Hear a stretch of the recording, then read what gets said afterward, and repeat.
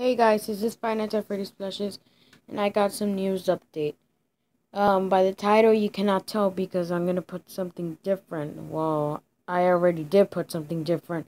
Okay, so there's a new character plush that I added to my channel. As you can see, I've been working hard on it. Barely, because see, it's a plush. All right, now the new character is. He's he's everywhere. Who are you gonna call? Fred. Yes, guys, a Fredbear plush, but it's it's made by me. Um, I don't have the real Fredbear plush, so I'm gonna use that Fredbear plush for all FNAF games except the three and two.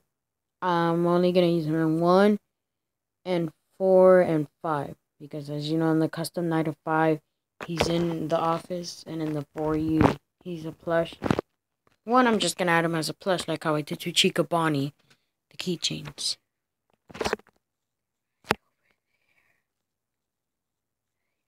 Okay. Um. So yeah, he's a new character. Fred, my own Fredbear plush I made, cause he, he first he was a little yellow teddy teddy bear. So I got paper, scissors. Look, here are the instructions to how to make your own one.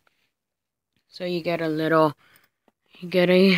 I know it's messed up by the eyebrow because I messed up. Just, let, just please. I try my best on it. Just, yeah. Uh, okay. I got a, a yellow teddy bear, painted the eyebrows on him because it didn't have eyebrows.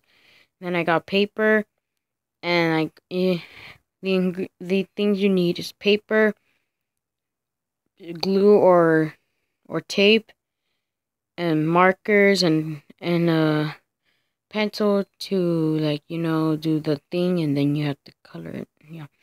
I used markers. Now from here looks okay, but when you close it up, you can tell he's already wearing tape due to all this. The hat uh is okay. Just I just added tape and to here looks like it's fine. But I'm not to touch the eyebrows because they can come off. And also I did a little mistake here. So yeah, I kind of messed up on that much. But don't worry, from here, from far away, he looks like an okay ordinary Fredbear plush that I that's made customized. So yeah, guys, that's the news. Well, it's getting really hot in here because I turned on my fan because it does sounds. So yeah, bye guys.